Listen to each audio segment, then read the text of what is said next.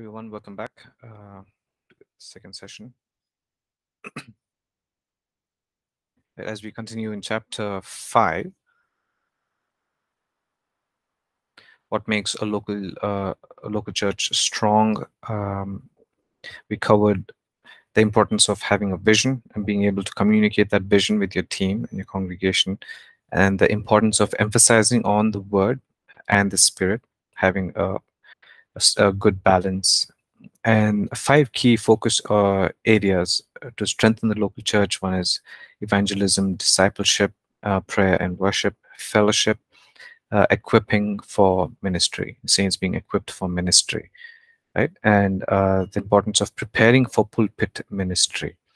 Uh, how do you as uh, the leaders of a church where which at whatever capacity that you're uh, that you're functioning as as a leader the seriousness and the importance and the significance uh, of the of preparing for pulpit ministries right? Uh, the last statement that says there was each time we minister we are nurturing people uh, into one of these five areas. And so uh, we have to make it count right?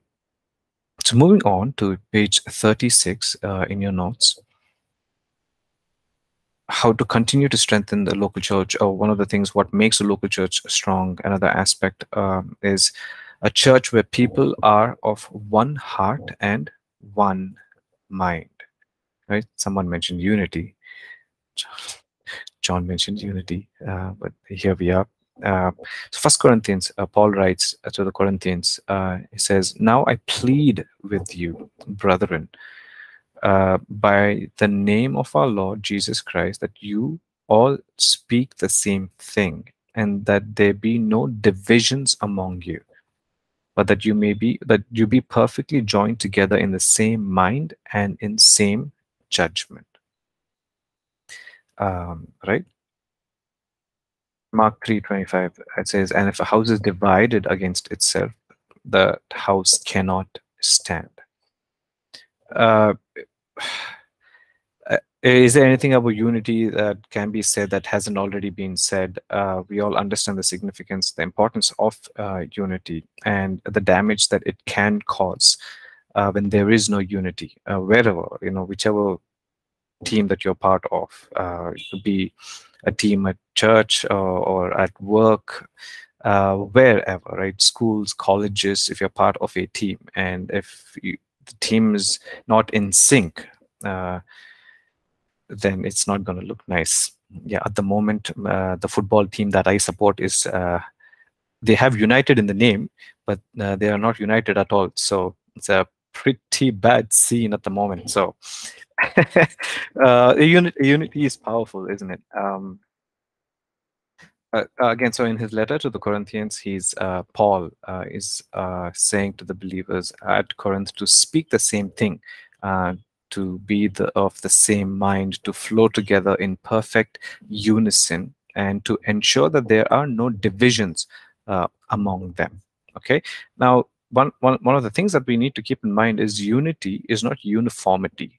Okay. Uh, there's a difference. We're not going to do a word study right now, but I'm just putting it out there. Unity is not uniformity. Okay. So I said one of the things is uh, he mentions is to flow together in perfect unison right? Now, if you uh, are all part of a choir, now if you've ever been part of a choir, uh, you know, we can all sing in unison. That means we can all sing just one part. Uh, and, or there are four-part harmonies that you can sing in a choir, right? Uh, so there are the sopranos, the altos, the tenors, um, sometimes the baritones, and then the bass. Okay, and if I'm sure we've all at least heard a choir sing, uh, they're all singing the same song, but they are singing in different harmony, different pitches, uh, but it all sounds like one beautiful thing, isn't it? Um, and so that's why I said, okay, unity is not necessarily uniformity. It can look, you know, um, very different, but there's something beautiful uh, about it, right? So, as pastors and leaders, we must teach people to be of one heart and one mind okay it it always whatever it is guys whichever culture that you're wanting to set it always flows from the top okay water always flows down. Right? you, you never see a water flowing going up isn't it? As the river always flows down. So uh, everything every culture that wants to be set has to come down from the leadership. Uh, if this is what you want to see as the senior pastor of your church uh, it has to come from you right? Um, because that's that, that that's how it is and and we know about this in from the scriptures as well from the old testament uh, when you read about it and say uh, in first chronicles chapter 16 uh, and 15 uh, when all the you know levites and the priests they all it says they were all gathered together and they uh, sang in one voice and everyone played together as one uh, and then you see that time and time again in, in Solomon's temple as well, when they worshipped and they lifted up their voice as one, or they, you know, and then come fast forward to uh, Book of Acts, chapter two, they were gathered together in one accord, in one mind. Uh, then God moved. Uh, God shows up. He manifests Himself where there is unity among people. Uh, and and so of everything you know that we are trying to uh, accomplish with our church by strengthening them uh, unity is um, to say uh, to say the least uh, is it's important right? Um, you have to just work towards building that. You have to constantly encourage people to work in teams to work together to combine each other's uh, strengths etc and whatnot okay? And that's not easy uh, because a bunch of individuals. We have our own characters. We have uh, the things that we like, uh, things that we don't like, and whatnot. Uh, but that's where teamwork comes into play. So uh, there are there's so many resources online that you already know. Uh, you know, in terms of leadership, in terms of teamwork. Uh, if you have to say, some teamwork activities, what you know, just do it just to build that unity, that oneness amongst each other, right? And in the notes, it says a lot depends on the pastor or leader. If the pastor or leader himself or herself is insecure, puts people down, is divisive in nature, works by manipulation, operates by a divide and rule approach, backbites, controls, slanders people, the local church will be a reflection of this. Amen. Okay. right? Uh, it all comes down, uh, it all depends on the leader. It starts with the leader. Okay. So unity in the church is crucial for the strengthening of a local church. Uh, and the next thing is uh, the church that is equipping and releasing people into their God appointed function. Uh, we've already read this uh, before in Ephesians chapter 4, verse 11 and 12. It says, And he himself gave some to be apostles, some prophets, some evangelists, and some pastors and teachers for the equipping of the saints, for the work of ministry, for the edifying of the of the body of Christ. Um, and so one of the objective of the fivefold ministry gifts is for the equipping of the saints. Uh, it's one of the objectives, and it's a very key objective. Uh, it's growing in maturity, and I've I've said that so many many times, isn't it? And uh, new believers need to be discipled and then equipped to become ministers of God. New believers cannot stay as new believers. Uh, you know, I was just teaching about the tabernacle of Moses to the third years, uh, how the tabernacle of Moses has the gates, uh, you know, the outer courts, the inner courts, and the holy of holies uh, you know most of us enter through the gate. Uh, jesus says i am the gate uh, right? He enters through the gate and we are in the outer courts. We are satisfied being in the outer courts. We don't want to go into the inner courts. And then some of us will go choose to go into the inner courts and then not really progress into the holy of holies.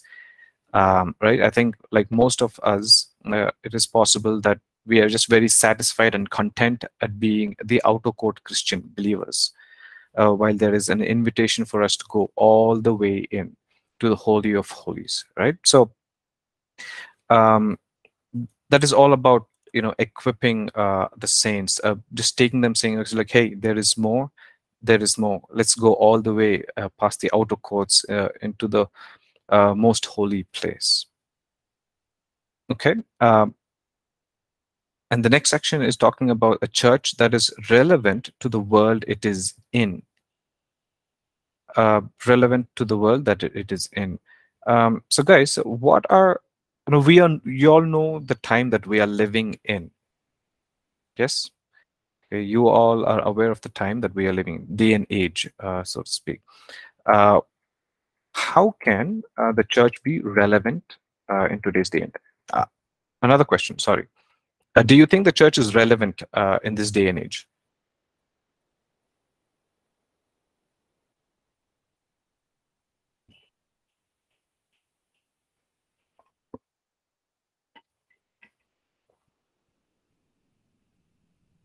Yes no maybe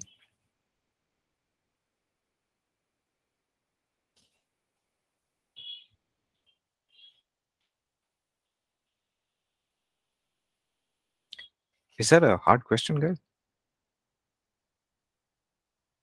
Can I try? Yeah, sure, Isaac. Yeah, go ahead.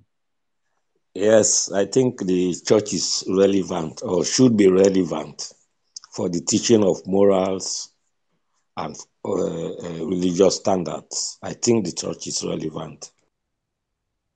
Okay. All right. Thank you. Um, all right. And what else? Some churches are, but some are not. okay.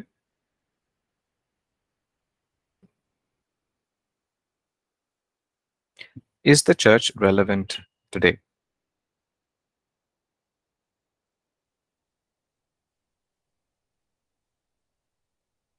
If yes, how? If no, what can we do to be relevant?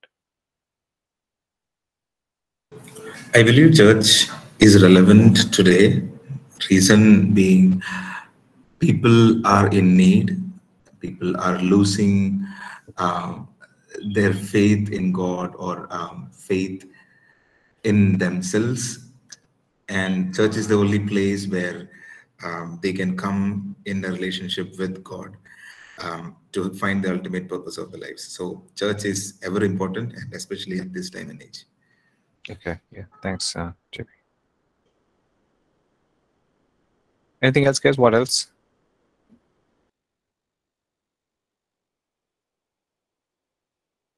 Yes, um, like uh, John was saying, the church is relevant or should be relevant because, as we already know, we we ha- we have two worlds: the moral world, that is the, the kingdom of God, and then the kingdom of darkness, that is the king of the world.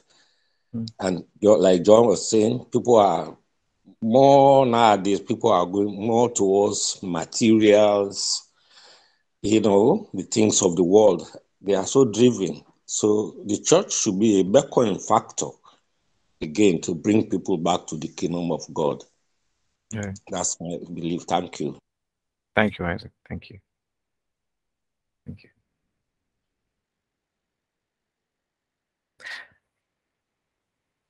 Uh, What else? I'm still waiting on. Sid, uh, did you raise your hand? You? Yes, Pastor. Pastor, I would like to share something. Like, I don't know about the Bangalore culture, but in Delhi, uh, there is a mixed crowd. Means the old people who are coming from that old kind of Christianity background, they are like very much strong in their belief. But the young generation, they are coming to them. It looks it looks like a very dramatic thing. Like Mm. when there is a manifestation of Holy Spirit and all. To the young people, it looks like it is all, all drama. But to the people like who are old from old background they think like it is the manifestation of holy spirit signs wonders and miracles are happening so what is my perspective in that to the younger generations the church may not be that relevant as it is relevant to the old people Okay. like so do- young yeah like young people they are not able to relate it Okay. as they should Okay. So I think the, the topic of being relevant uh, all comes down to how do we uh, teach and uh, you know share about the Holy Spirit and the baptism of the Holy Spirit in a way that it is relevant, because we can't compromise and say okay just because they are thinking it's weird we can't say okay I'm not going to teach or preach on it, um, right? So I mean I think we kind of get the picture of with what Sid was saying, isn't it? Um, so uh, in First Corinthians chapter 9, verse 19 and 23. Uh, hey, thanks, Sid, for sharing that. So First Corinthians 9, 19 to 23 it says, For though I am free from all men, I have made myself a servant to all, that I might win the more. And to the Jews I became as a Jew, that I might win Jews. To those who are under the law, as under the law, that I might win those who are under the law. To those who are without law, as without law, not being without law toward God, but under law toward Christ, that I might win those who are without law. To the weak I am I became as weak, that I might win the weak. I have become all things to all men, that I might by all means save some. Now this I do for gospel's sake, that I may be partaker of it with you. Right? Uh, so in the notes it says, God speaks in the language of the people whom he is speaking to. Okay, that's a very significant line there. It's right. God speaks in the language of the people whom he is speaking to. Okay, so, so we got to pause and we just say, okay, if God is the ancient of days, right? Uh, he's from everlasting to everlasting. He is God. Uh, think about the number of generations that He has seen uh, go before us, the current generation, uh, the ways that He's spoken to them, the things that He's seen them do uh, and learn and minister and whatnot. Uh, you know, nothing can take God by surprise, or no generation, Gen X, Y, Z, or Z, can take God by surprise. Uh, he is not shaken, or he is not taken by surprise. Uh, he's not moved with anxiety or whatnot. Okay, oh boy, here comes uh, Generation Z. They are all into technology and phones and whatnot. Uh, you know, what are we going to do? No, he's not moved or shaken. Uh, he's he's still God, and he has he, you know he's the spirit of wisdom um, he knows how to speak to this generation every generation in the language that they speak right? And so that's where the apostle paul in describing how he went about uh, ministry essentially sums it up. I have become all things to all men that i might uh, i might by all means save some right? And so the message bible uh, says this even though i am free of the demands and expectations of everyone Okay, just please follow along with me uh, as I read that one more time. Even though I am free of the demands and expectations of everyone, I have voluntarily become a servant to any and all in order to reach a wide range of people. Religious, non-religious, meticulous, moralists, loose-living immoralists, the defeated, the demoralized, whoever. I didn't take on their way of life I kept my bearings in Christ. That's very important, right? The, those lines. I didn't take on their way of life. I kept my bearings in Christ, but I entered their world and tried to experience things from their point of view. I've become just about every sort of servant there is in my attempts to lead those I meet into God's saved life right? So uh, paul attempted to communicate in a way that the people whom he was trying to reach would understand the gospel and also see it in him. Now this kind of wisdom and knowledge can only come from god. Uh, you know when you're uh, and you're trying to address so many different groups of people communities of people you know i mean think about what the list of people that he's mentioned there. To the Jews, he became a Jew. Uh, to the Gentiles, he became a Gentile. To the poor, he became a poor. Uh, it's easy for us to just say, okay, Jew, he became a Jew. Gentile, he became a Gentile. You know, just think about it. Jews had their way of lifestyle, their way of living right? They believed in a believed in a certain things. Like this is what you have to do when you wake up in the morning and this is what you have to do before you go to bed whatnot. So every every uh, community or group will have their own way of living a life isn't it? And for paul to say that okay you know i kept my core strong that means i did not you know uh the, like the message says i kept my bearings in christ. I did not take on their way of life but I was I became relevant uh, so that I can save people from every uh, group, every community, right? So uh, it's important for us to be uh, relevant, guys, because the world around us is changing, uh, and while we don't change the message of the gospel, uh, the way we communicate or you know share the gospel has to change or progress, um, right? So the local church has to be relevant in the community that it is in. Um, are you guys with me? Uh, anything else that you'd like to add?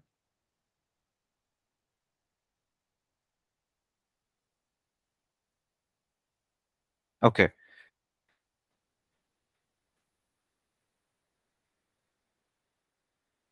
Uh, right, and page 38 and uh, 39 as uh, as one big point. It talks about a church that is raising up uh, leaders. A church that is raising up leaders. In uh, Galatians 2, verse 9, it says, And when James, Cephas, and John, who seemed to be pillars, perceived the grace that had been given to me, they gave me and Barnabas the right hand of fellowship that we should go to the Gentiles and they uh, and they to the circumcised. Okay. Um, so this point is talking about, and this I want to talk about this, and and the next point is about uh, leaders are the pillars in the house of God, uh, raising up leaders. Uh, we saw uh, how the how the deacons came about, right? And deacons and elders and uh, they are all nothing but leaders in their own way, isn't it? So the apostles saw, okay, to serve people better, we need to raise leaders, uh, spirit-filled leaders. So they went and found the deacons who can serve food, uh, you know, and whatnot, and then elders. And so they what what what they were doing is that they were raising up leaders. And so in your church where God places you, where God where God has placed you, uh, it cannot be a one-man show, um, right? It, simply cannot be a one-man show because you will not last long. uh, right? Okay, uh, I, you know, I'm the founder of this church. I'm going to do everything because I want people to see me. Uh, I want people to know about me. It's got to be only about me because uh, I want everybody to see how hardworking I am. it's I, I mean, it's not going to last long if you don't raise leaders. Raising up leaders, raising good leaders is very important, and it takes time. Uh, right? It takes time. It takes time that you meet with those leaders. You recognize them and then you begin to nurture them right? Coming back to that word is where we nurture them okay? So what will happen is that if we don't raise leaders if you come down to page 39 uh, for example you you'll read this uh, passage of scripture in judges chapter 2 verse 7 to 11 it says, So the people served the Lord all the days of Joshua and all the days of the elders who outlived Joshua, who had seen all the great works of the Lord which he had done for Israel. Now Joshua the son of Nun, the servant of the Lord, died when he was 110 years old. And they buried him within the border of his inheritance at Timnah Heres, in the mountain of Ephraim, on the north side of Mount Gaash when all that generation had been gathered to their fathers, one generation arose after them who did not know the Lord, nor the work which he had done for Israel. Then the children of Israel did evil in the sight of the Lord and served the Baals. Um, right? So, simply put, um, if we don't raise a generation of next leaders, uh, just like what, what we read in Judges chapter 2, we will lose an entire generation uh, to the kingdom of the world. Uh, and so we need to echo, we need to train. And that's what discipleship is all about, isn't it? Uh, uh, is you you equip them uh, and then you you teach them about the word of god you teach them about who this god is and you raise them up you make them better people make them you build them as leaders you raise them up in your church uh, and then so that they can uh, you know follow and have that continuity right? And just about in page at the bottom of page 38 it talks about is this passage of scripture from second timothy 2 1 and 2 right? It says you therefore my son be strong in the grace that is in jesus that is in christ jesus. And the things that you have heard from me among many witnesses commit these to faithful men who will be able to teach others also. Okay, so just as Paul invested into Timothy, is, is he is encouraging Paul. Okay, just as I've done with you, you do with those whom you see fit, who are faithful. You teach them, and so they will also continue to teach others also. So uh, the continuity uh, is very important. What happens uh, to your ministry after you are gone? Uh, right. So uh, that's the end of chapter five. I want to leave with that. And um, but I just want to pause here and ask: Is there any questions, uh, guys? Do you have any questions, any thoughts that you want to share?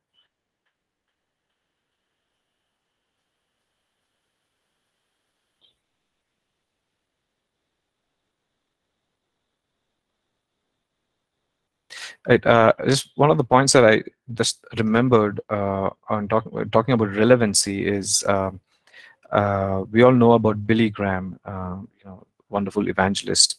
Um, in the, I think it was about somewhere in 92 or 93, uh, he invited Michael W. Smith to come and uh, lead worship in his crusade, one of his crusade and uh, there was a lot of opposition uh, for that. It's like why are you inviting michael w. Smith? I mean although he was a christian artist uh, it was his his his music michael w. Smith back then 93 was, was almost how many years ago? 30 40 years ago?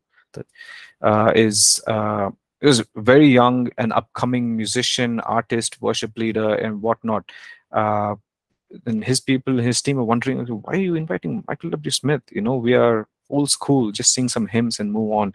But Billy Graham saw that, okay, to be relevant to the young audience, he knew that, okay, they would come uh, to the music that is relevant of that day and age. And so uh, he, he had Michael W. Smith lead worship. So there are so many ways that you can uh, be relevant uh, to reach out to the generation uh, that you want to reach out to. Yeah. Um, Okay.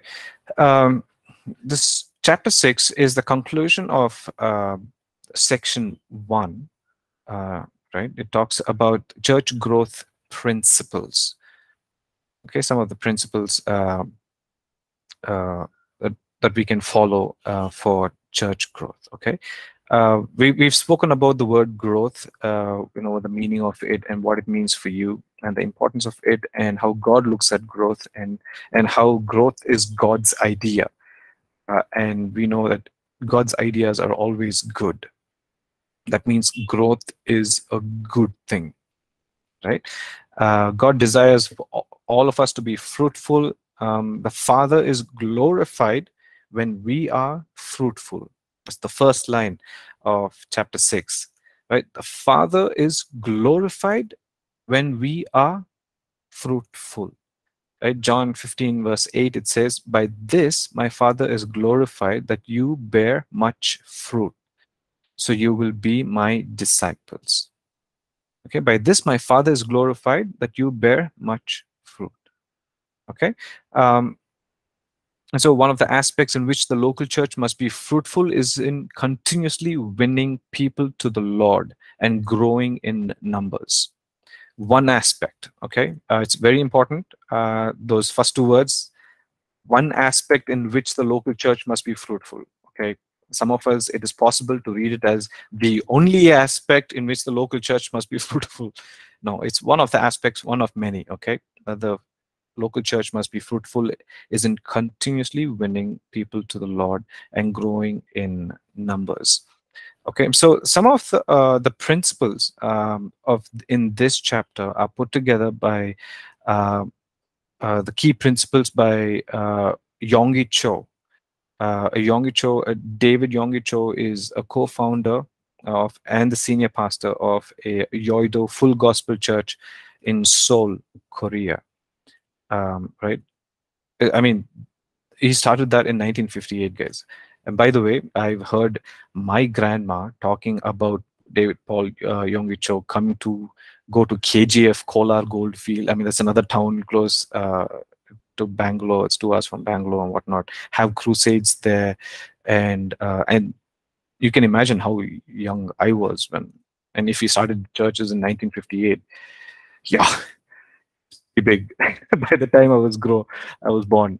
Um, so uh, he started it says uh, in uh, a tent with only five members and within 30 years mm, he his church his congregation grew up to 800000 um, people and that's pretty huge right? And there are a lot of his workshops his seminars on youtube guys. Um, you know once again i would encourage you to you know make time to listen to him. Uh, is is very encouraging. He's one of the generals god's generals uh, i would say uh, in in the kingdom right so uh, some of the principles that's mentioned are you know are taken from some of his teachings right um, the first thing what he mentions uh, is have a vision of a large growing church. We just spoke about vision, isn't it? Uh, what makes a local church strong? The first thing is vision. Uh, and of what's the first principle for a growing church? Vision. Okay. Uh, oh, is, is this amazing, isn't it?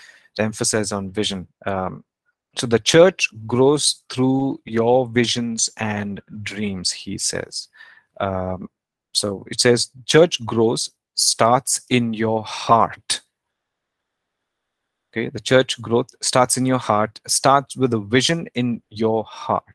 Uh, you already have a vision of what your church should look like, uh, you know, how big your church should look like, whatever. Uh, okay, it should have this, so and so, so and so. You already have an image in your heart. You already have a blueprint you know up here. Right? And just and so that's when uh, you see it come into fruition. Right? So the church grows through your visions and dreams. Um, it goes on to say that it is not that you that makes the vision but it is the vision that makes you so when you have the Holy Spirit inspired vision in your heart, then the vision is going to make you. The vision will change you. Okay. Um, so Romans chapter 4 verse 17 says, what you can see, you can handle. God calls things that are not as though they are. We all know that scriptures, right? Um, in Genesis 13, uh, it says, What you can see, you can have. God told Abraham, The land which you can see, I will give to you. Okay, the land that you can see, a vision, basically, uh, have a revelation of. Okay, um, so um, there's also, by the way, uh, a huge difference between sight and vision. Okay, so right now I'm able to see everything that is in front of me. I have a sight. You know, uh, although it is it can be misinterpreted as vision. Um, there's a partly true. I do have vision, but I also have sight. What it is is sight, but vision is uh, much more different than um, than sight. Okay, so to get a God-given uh, vision uh, for your ministry, uh, because guys, we say your ministry, uh, what God's called you to do. think about it. It's his work at the end of the day right? Uh, if god's called you to do into ministry for something to you know to save the lost or to go into missions and whatnot it doesn't become your thing. You're sure that's your calling uh, but it is his work. So you know it's he's the boss and he's the one who who has to give you uh, the plans the strategies. Okay hey this is my work. This is my project. You know you, this is how you ought to do it uh, and whatnot. So it's so important for us to lean into his heart get uh, the vision the heartbeat uh, from him um, from the holy spirit for us to do his work uh, the work of his kingdom here on earth right okay uh, the second principle is have a strong burning desire for a large growing church. Okay have a strong burning desire for a large growing church. Your desire gives power to the vision and your vision increases your desire. Okay your vision your desire gives power to the vision and your vision increases um, your desire when you have desire you will pray day in and day out and you will work tirelessly. Uh, would you guys agree uh, you know what, what is a power of desire? You think having desire is important to feed your vision and vice versa?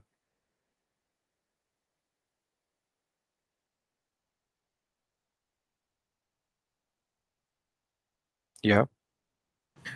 Yeah, desire.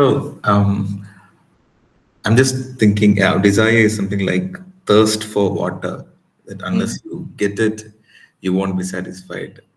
It's running after it. yeah And you need to get it to just to survive at least. yeah yeah i'm just looking at this choice of words and the progression of those words it says your desire gives power to the vision okay i, I want to share an example but it's just so silly and can be so funny but please forgive me uh, uh, maybe it's just my uh, thing. so your desire gives power to the vision um, say for example uh, i mean i'm saying this because uh, okay just say a person who goes to the gym who wants to go to the gym okay at the moment it looks very different but then he's had a vision of how he should look like he or she should look like okay? Like yeah i gotta lose that one pack and get a six pack. That's the desire right? Uh, and that and so he's gonna say okay i gotta lose this one pack and have that six pack. And so he has a vision and so he's gonna move in that desire to just work out uh, you know lose all the fat um, and uh, and then the second part of the statement says your vision increases your desire so you've been working out uh, you've been consistent you've been disciplined in what you eat uh, you've been disciplined in your working out schedule every day um, etc etc and then okay you're seeing change and you're seeing uh, difference in uh, in in in the, in the in in the way that your body is transforming. And that increases your desire. It's like okay i can see this okay there's a little bit of change. I can see my tummy is almost flat now and uh, that's increasing my desire. It's like okay uh, this is just some more hard work. Let me get to that thing. Okay so uh i told you guys okay it's a silly funny example. So but then i i relate to it. Okay so when you have the desire uh, you will pray day in and day out and you will work tirelessly. Um, so have a strong burning desire. And one of the things i've learned about desire is that for us to desire more of him only he can give us that desire. Because in my flesh i can only desire so much of god.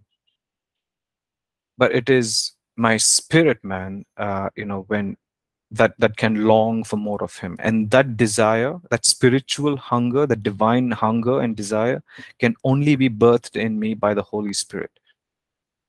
Okay?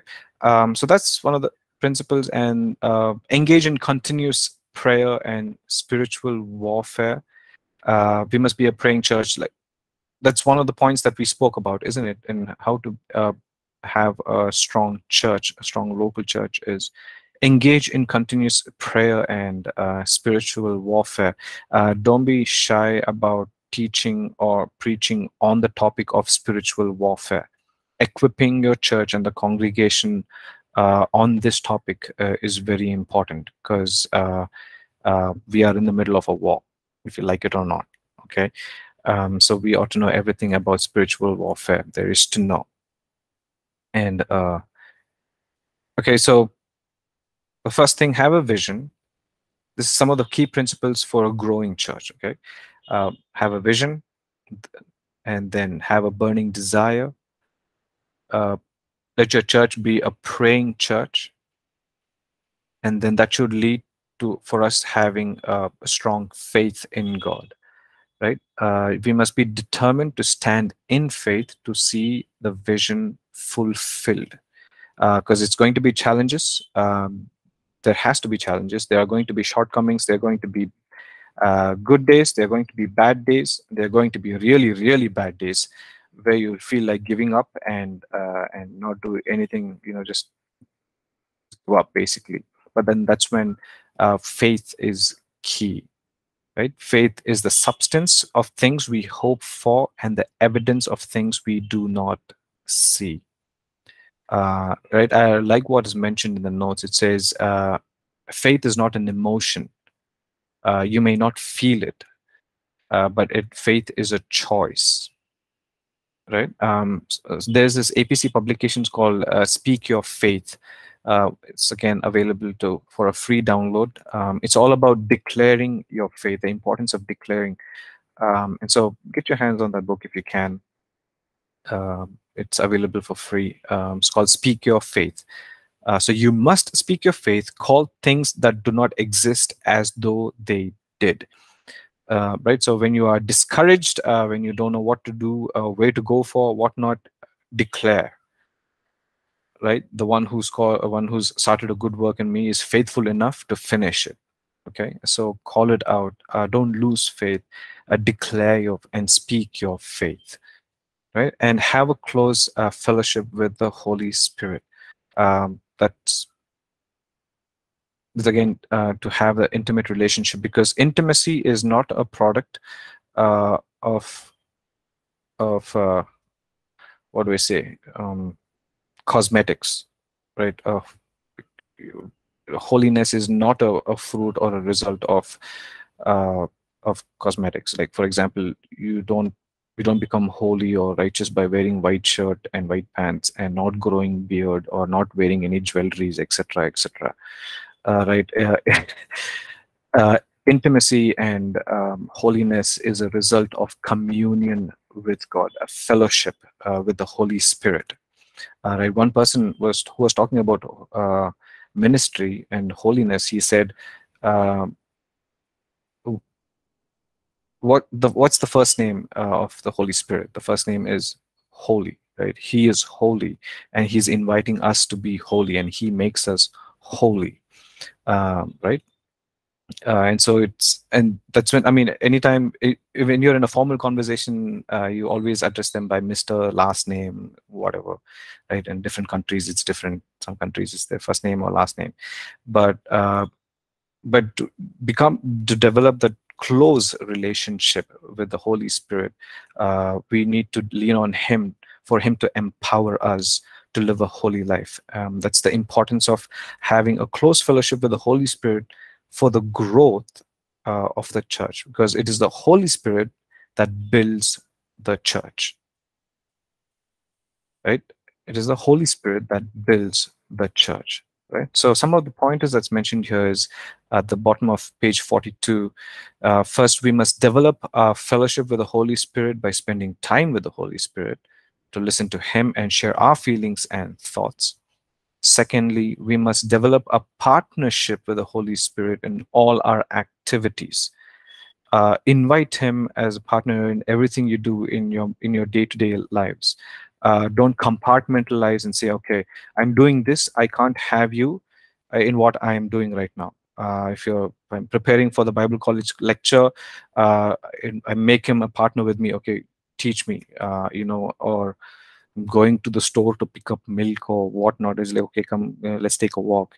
Uh, uh, you know the benny hinn's old book uh, good morning holy spirit uh, it's about inviting making him a partner in our day uh, in our everyday life is crucial.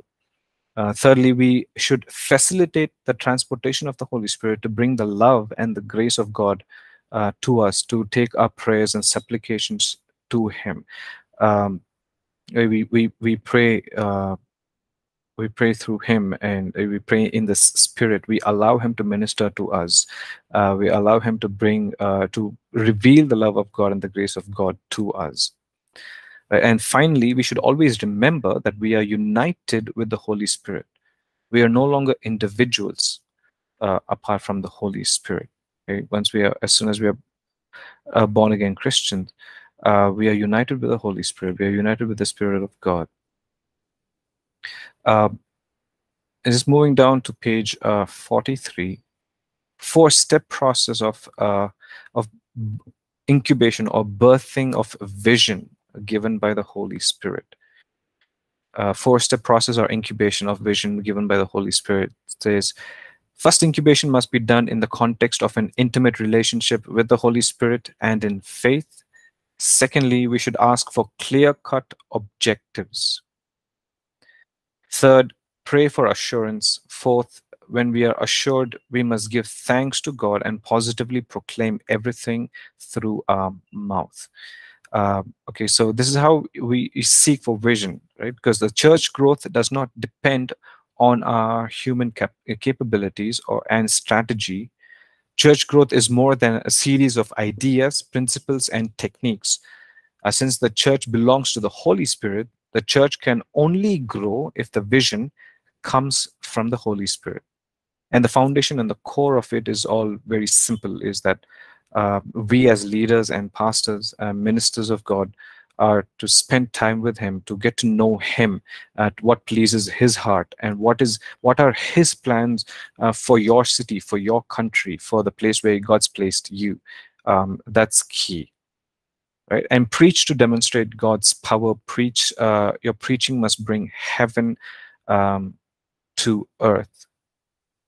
And not compromising preaching on the word of god uh, so understand the difference between prosperity and greed. Prosperity is God's blessing to his children to meet their needs, to glorify God and to bless others. Greed is characteristic of the devil. So um, your preaching must meet people's needs right now through Jesus Christ. Uh, we must preach and minister forgiveness, healing, casting out devils, feeding the hungry, everything that represents the kingdom of God.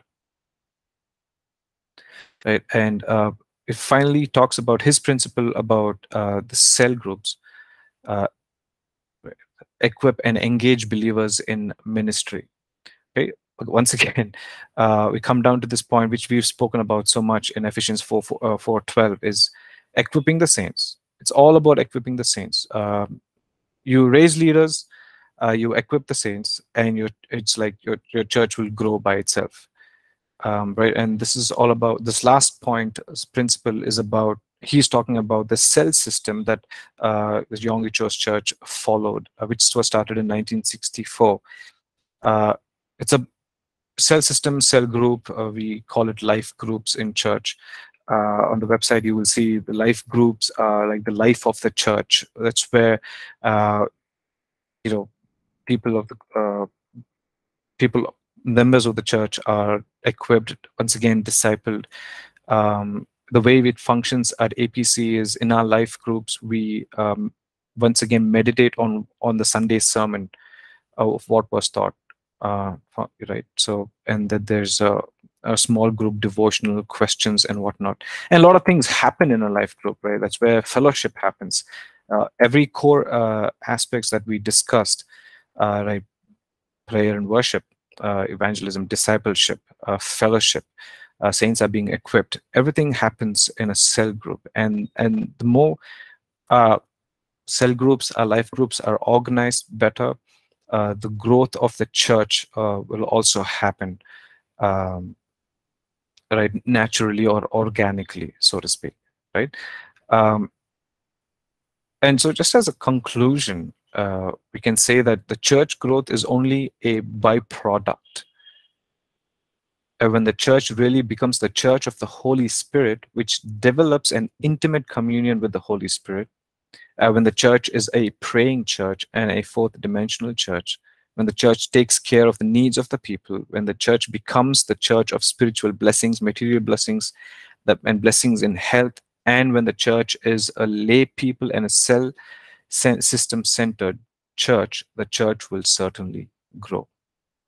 Okay, so these are some of the principles from uh, the teachings of uh, uh, David Yonggi Cho. Um, and there are some books that are suggested uh, in page 45 for um, you to read. Um, yeah, so that's uh, that's the end of chapter six as well, guys. So uh, chapter five and chapter six are are kind of connected. Actually, this whole section right now, when you look at it from the hindsight, um, every chapter makes sense and every chapter are so much in sync. And that's why there's so many points are repeated uh, over and over again. And so many recurring themes like equipping the saints and the intimacy with God, listening to the Holy Spirit, having a vision.